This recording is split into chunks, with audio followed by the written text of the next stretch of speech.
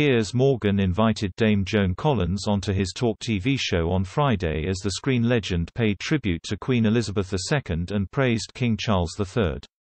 The actress admitted she couldn't stop crying, when Buckingham Palace announced the Queen's death before reflecting on her meetings with the monarch over the years.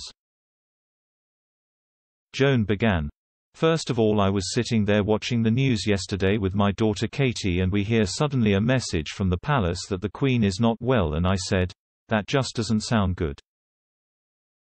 With her voice breaking, Joan continued, we started watching it and the more times we saw the Queen when she was a little girl, when she was a teenager, when she was 21 and said that really wonderful speech, the more upset we got. When we finally heard the news at 6.30 p.m., you know I couldn't stop crying. Even though you expect it and obviously we have been thinking about it, you really think she's iconic, she's never going to go. She's going to be there for us. She's part of my whole life. I don't remember being around when she's not around. Speaking about meeting the Queen, the actress confessed. It was a bit like being a teenage groupie.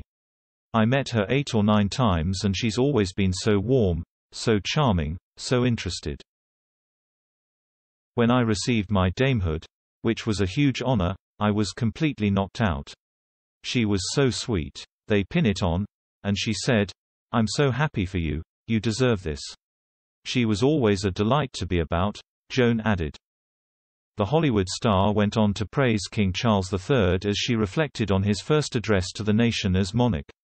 She said, I thought that, Charles, Prince Charles, sorry King Charles looked very emotional when he was doing his speech.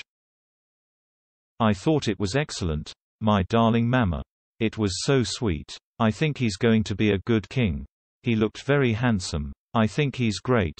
He has a great voice, a really nice voice, Joan continued. I think he cares so much about the community, about the country, about every country. He has so many good causes. Joan note the king's admission that he will give up some of his charity work was interesting. He's been rehearsing enough. I am sure that the Queen has given him so many tips about so many things, Joan shared. Look at the way he met everybody outside Buckingham Palace today. I think he is going to be exceptional.